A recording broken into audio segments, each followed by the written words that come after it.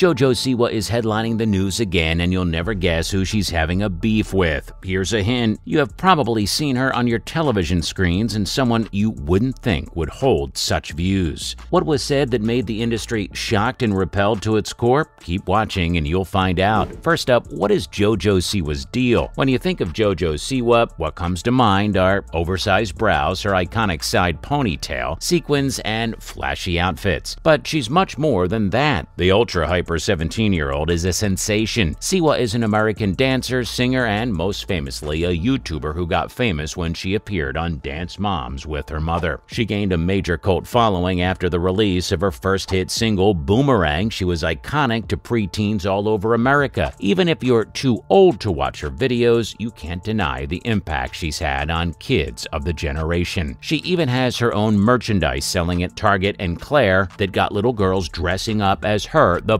ponytail, and the bow and all. More recently, though, JoJo Siwa has become much more of just an entertainer. After coming out as gay to her fans last year following an Instagram post and a TikTok singing along to Gaga's Born This Way, she's become a source of inspiration for her young fans as well. She says she wants the young girls and boys watching her to know that loving people for who they are is exactly what they should do. No matter who you are, who you love, it's okay. According to The Guardian, JoJo's famous bow symbolizes power, confidence, and believingness. Even though she's gotten tons of negative feedback and hate from parents of teens for seemingly spreading inappropriate behavior, she has not backed down and continues to live her life on her open terms, recording it for her fans to see. JoJo Siwa is a proud member and supporter of the LGBTQ community and does not shy away from it. So when Candace Cameron Bure made some offensive comments directed at the LGBTQ, JoJo Siwa called her out, saying her comments are nothing more than a straight flush. So what really happened? What did Cameron Bure say that JoJo Siwa had to come out and speak out against? Do the two have a history prior to this? Well, keep watching and you'll get all your answers. And while you're here, hit the bell icon for notifications. Now, let's get back to the video. Now, what's the drama all about? The Fuller House actress said in an interview in the Wall Street Journal that she would not include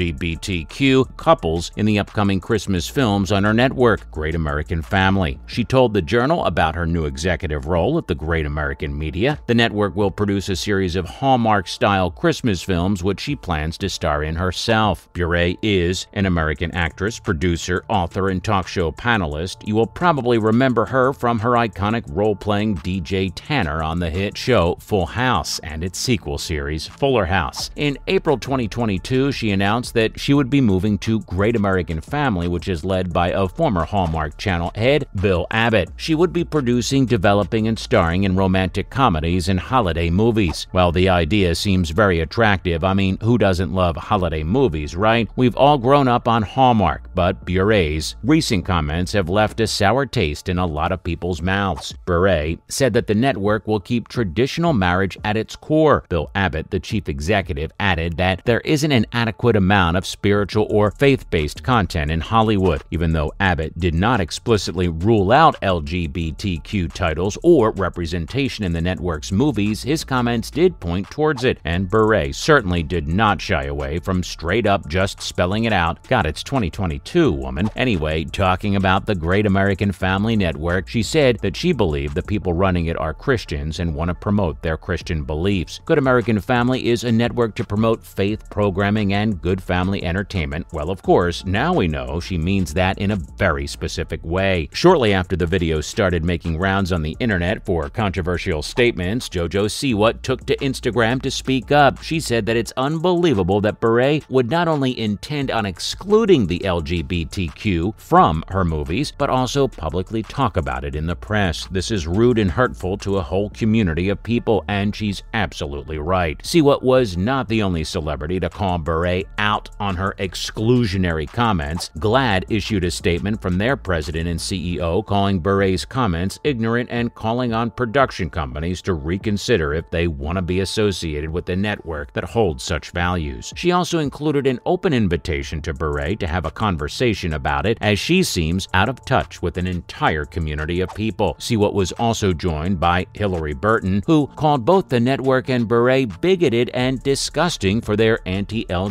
LGBTQ comments, saying there is nothing non traditional about same couples. Oh, but this isn't the first time Siwa and Bure have butted heads in public. Earlier this year, the former Dance Mom star took to TikTok to announce to the world that Bure was the rudest celebrity she's ever met in real life. While Siwa provided no additional context to her comment, Bure went public and said that she talked to Siwa on call to clear things out and found out the incident Siwa was probably referring to in her TikTok. According to Bure, Siwa said that she was talking about when Bure refused refused to take a picture with Siwa on the red carpet premiere of Fuller House when Siwa was just 11 years old. While she refused Siwa, she proceeded to take pictures with other people present there. Well, we don't know about you, but that's a pretty crummy thing to do to a literal child. While things got friendly between the two after that, this recent debacle has got them in the news again, and this time for a much more grave reason. Finally, is this love in the air? On a much lighter note, JoJo Siwa and her girl girlfriend Avery Cyrus are all over the news and now officially TikTok's cutest couple. The relationship timelines are the cutest friends to lovers arch you'll ever see. The couple started out as friends and are now blessing our feeds with cute relationship content, making sure all of us feel really deeply single. Their TikToks give their fans an inside view of their burgeoning romance. The couple didn't publicly declare their romance until September 2022 in a TikTok video. They were seen in the video posing posing for photos in a photo booth at Chuck E. Cheese, with one photograph featuring a smooch. But who is Avery Cyrus? Avery Cyrus is a TikToker who has roughly 8 million followers to her name. A well known creator in the LGBTQ community, Cyrus uses her platform to talk about